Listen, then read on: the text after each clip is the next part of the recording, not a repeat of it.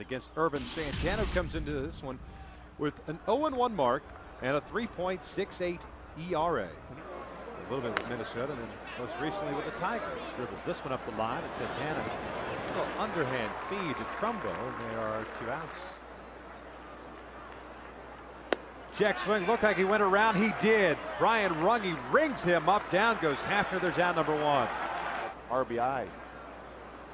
Oh, one hard hit off the glove of Santana to Kendrick. Flips to Brandon on the first.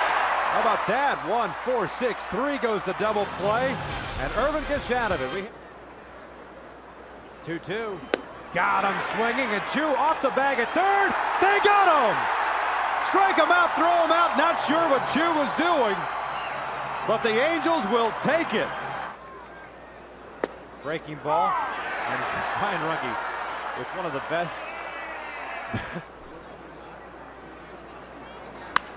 Jam shot over toward Howie Kendrick, drifting out into the outfield grass, and it's a 1 2 3 inning for Ervin.